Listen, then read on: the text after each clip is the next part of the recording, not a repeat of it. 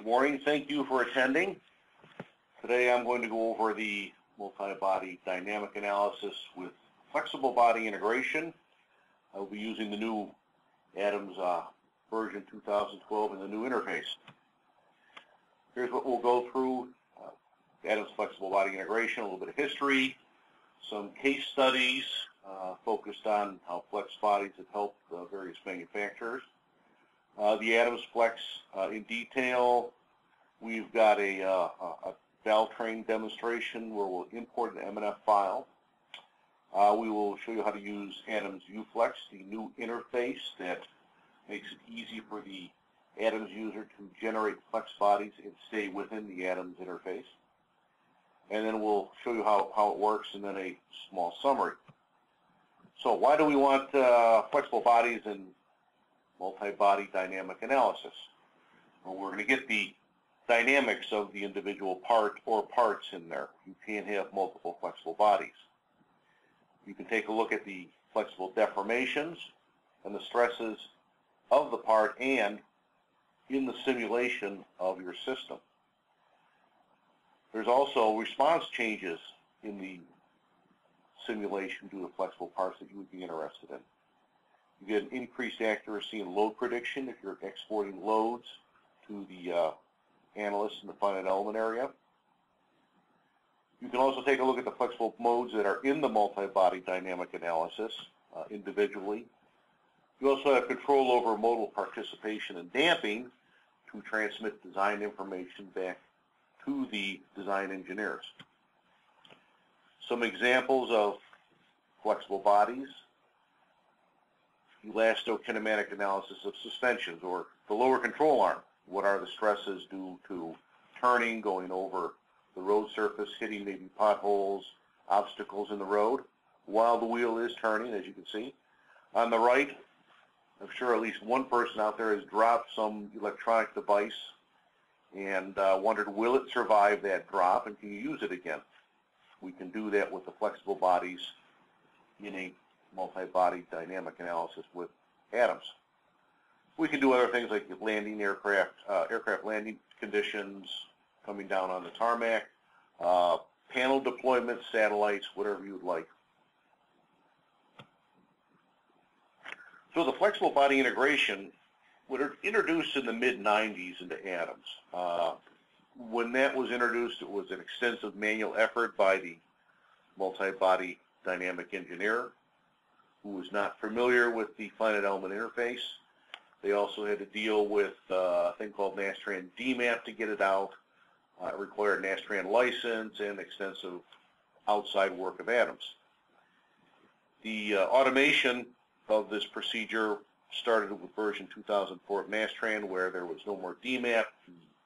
It was much easier for the Adams user to set up a flexible body using a finite element mesh, but there was still some editing on his end and he had to get out of the interface.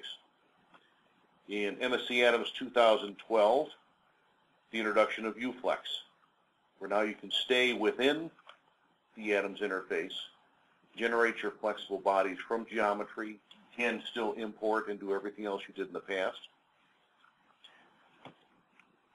Let's take a look at some of the case studies using flex bodies.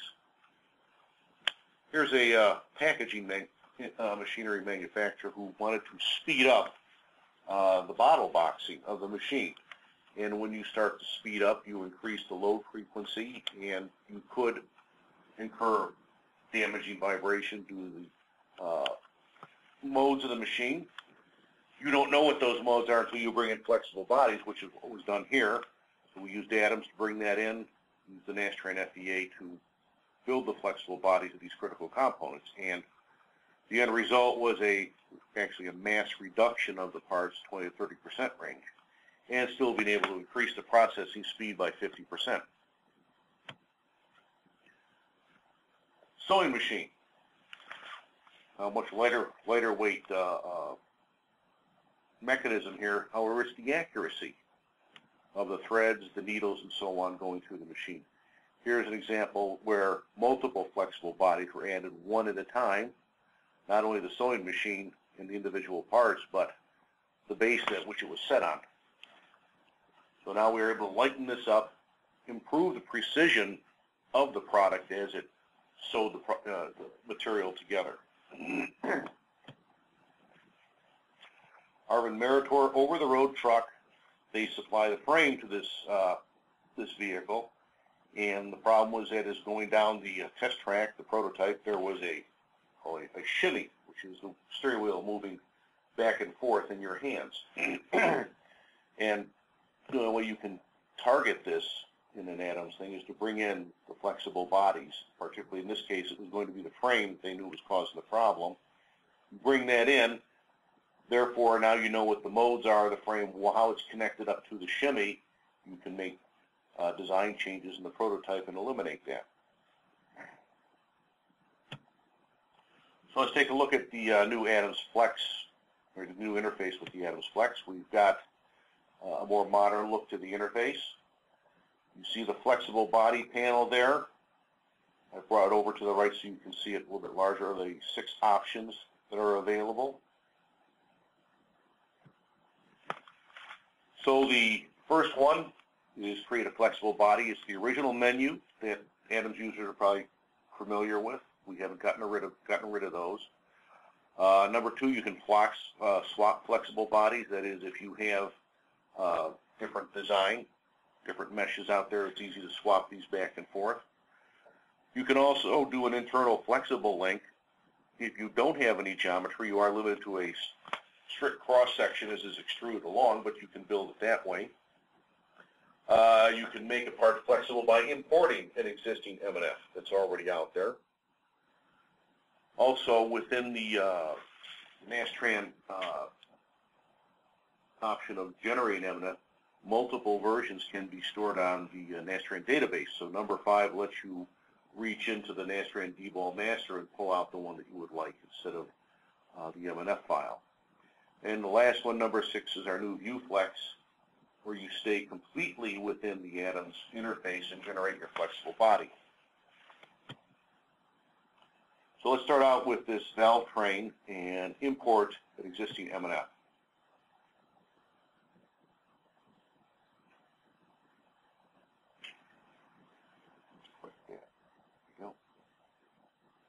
So everything's a rigid body.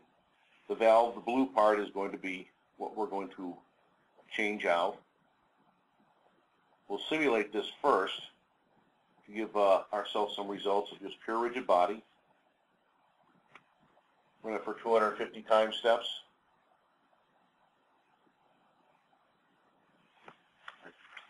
That's usually about one and a half revolutions here. The two things we're interested in is the valve moving up and down on the seat and the cam action. So what we'll do is we'll rerun this and we'll run it for 10 times so we can get a good look at everything. So here we see the valve up and down hitting the seat, which we expect. Over on the left, you see the force uh, vectors as the cam goes around. Now what we're going to do is we're going to swap out an MNF file. We've got one already sitting out there ready to go. Let's zero in on the valve.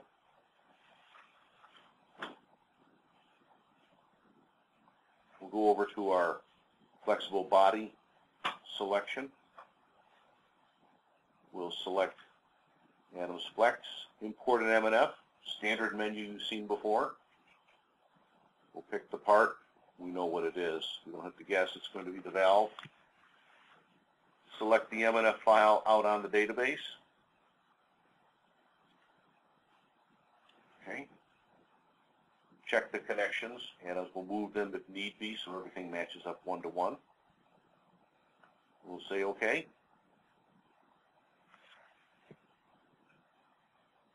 And we've got it inside there. So it shows up, you see on the tree on the left, under valve underscore flex, so you know it's a flexible body.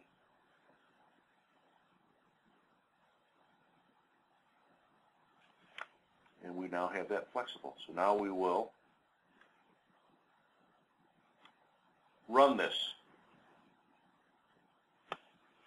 So now we got the flex body in. Let's animate this, let's, let's run the loads once again. Run it for the same time period, same number of steps.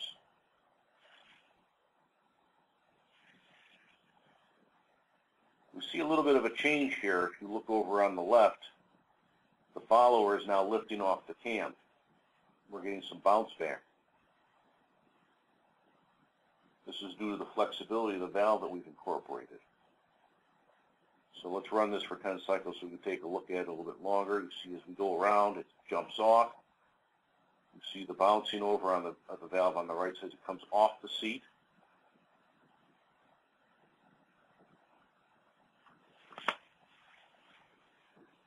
Okay. So we'll stop. Let's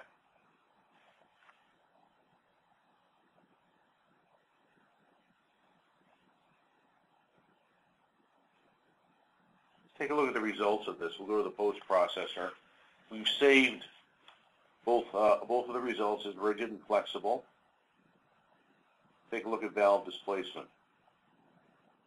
Clearly we see there's a difference there. The blue dotted line is where we have the flexible valve in there. You can see the bounce off as it hits the valve seat. Whereas the red line, which is our rigid, we have no bounce off. So there is some dynamics here we need that needs to be addressed in this valve train, just making the valve itself flexible. If we look at contact forces, much higher than the rigid. Again, this could be, this is going to be something to be investigated. It could be damage to the valve seat itself. We may have changed the spring in the valve or some other part of this valve train to get it to work correctly and get rid of the bounce off.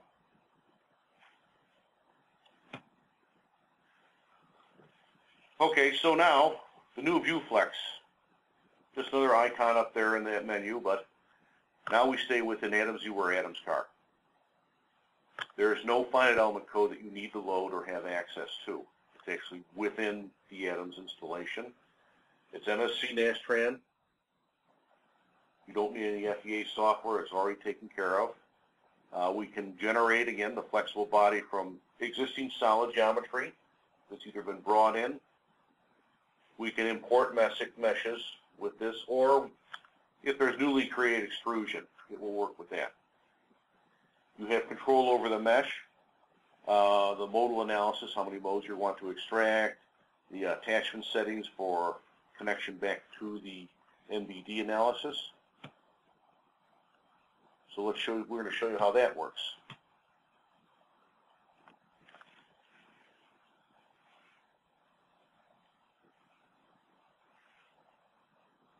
Again, we'll do this for the valve.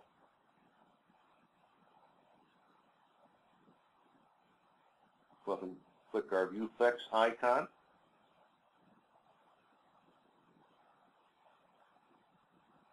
We already know because we clicked the valve, that's the one we want to make flexible. We don't have to guess. Just use the default and say OK. It's all done in the background. We'll close this information window take a look at our connections. The flexible valve is already there, and you see up on top, we've swapped it out automatically. And you have all the things you can do, flex uh, if you want to make it visible, invisible. So we can also take a look at modes here. Those of you familiar with the MNF, you notice that the rigid modes are already, already excluded automatically with the view flex.